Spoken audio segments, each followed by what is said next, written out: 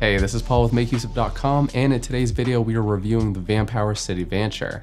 Vanpowers actually started out as a crowdfunding project, and this is the company's first ever road bike. This is an electric bike with a very sleek design, impressive range, and a relatively competitive price. This is an e-bike that stands out, not just because of its styling, but because you can choose to have it either shipped to you pre-assembled or if you're adventurous, you can completely assemble it yourself in a Lego-like experience. And so the City Vanture offers a lot of value, but there are a few considerations that you should keep in mind before buying one. This bike is ideal for riders between 5'8 and 6'3. Now, incredibly, the bike only weighs 34 pounds. In the US, it's powered by a 350 watt motor, whereas in the EU, a 250 watt motor. US models are capable of reaching speeds theoretically up to 25 miles an hour, whereas in the EU, it's capped at 15 miles an hour. In my experience with my US model though, I never really passed 20 miles per hour.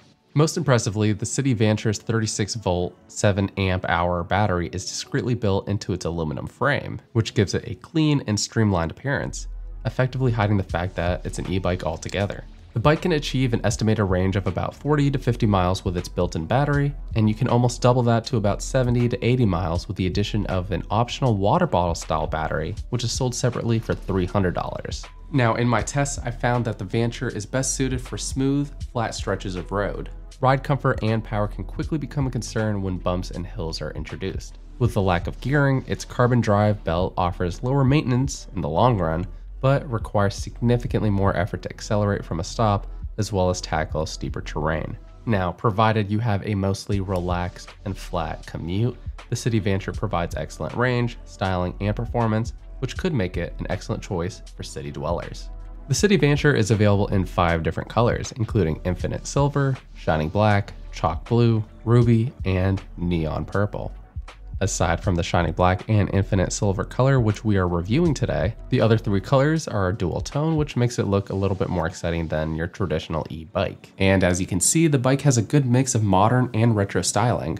The reflective aluminum frame makes the bike look futuristic, while the dual tone brown tires give it a hint of vintage. And in my opinion, the silver color is one of the best looking, especially with brown seat and brown handlebars. The Vanture is a great choice for those who are looking for an e-bike that stands out from the crowd. And the Infinite Silver, which I'm reviewing, is definitely a head turner. On my very first ride alone, I had at least three people come up to me at various red lights or when I reached my destination to ask me about the bike as they thought it looked very unique. They were especially surprised to learn when I told them that this was actually an e-bike. Each of them asked me where the battery was. And this goes to show how well the City Vanture conceals that battery. As mentioned earlier, for an additional $300, you can buy a water bottle shaped 252 watt hour battery, and that effectively extends your range by about 30 to maybe 40 miles.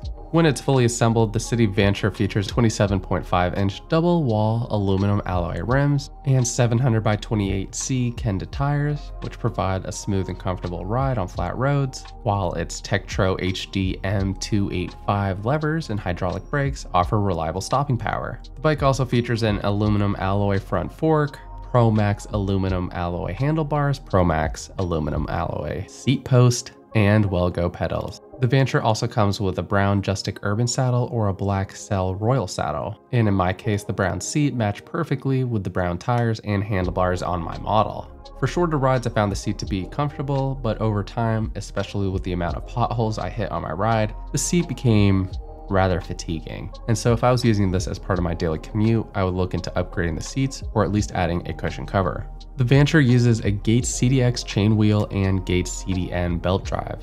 And as mentioned earlier, one of the main benefits of this type of drive is that it requires less maintenance and is generally quieter than a chain drive. And when compared to a chain drive, they typically last longer and they're also rust and corrosion resistant. However, one of the biggest advantages, and we'll cover this a little bit more, is that it requires more torque to get moving than a typical non-electric single speed or any belt driven bike with gears. This means it'll likely take a little bit more effort to get up to speed, especially if you're starting from a stop. Additionally, the Gates CDN belt drive can be more expensive to replace if anything goes wrong in the future. Now, while building your own City Vanture is arguably the biggest selling feature of this e-bike, the experience might not be for everyone. I would highly recommend starting with a clean, open spot where you can unbox and lay out all the pieces. Several of the parts look very similar, and so it can be very tricky to find the part number unless you lay them out numerically. Vanpowers includes all the tools you'll need for installation, including Allen keys, wrenches, and a screwdriver. In my experience, the assembly process was rather challenging, especially if you've never assembled an e-bike before like me. As a first time builder, the process was definitely time consuming and somewhat frustrating at specific steps. Part of the instructions could be especially confusing and vague, which made the build process even more difficult than I was expecting. In total, the assembly probably took me about an hour and a half to complete. One of the most difficult parts of the assembly process was that some of the steps had poorly illustrated diagrams, and at least two steps were incorrectly worded. This made it more challenging to understand the correct placement of some of the parts, and as a result, I had to go back and forth between the instructions and the bike, which again further extended the build time.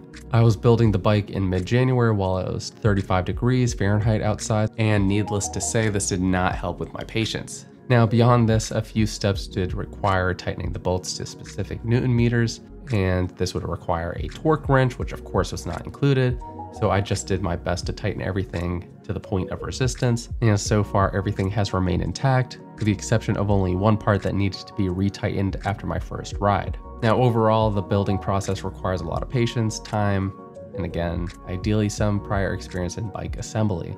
The instructions definitely could use some improvement to make the process smoother and easier to understand. So your building experience might vary, but in the end, once it's all put together, you'll be making a great electric bike that's reliable and that you'll be proud to ride. And aside from actually being able to build your own Vanture, one of its best features is its design.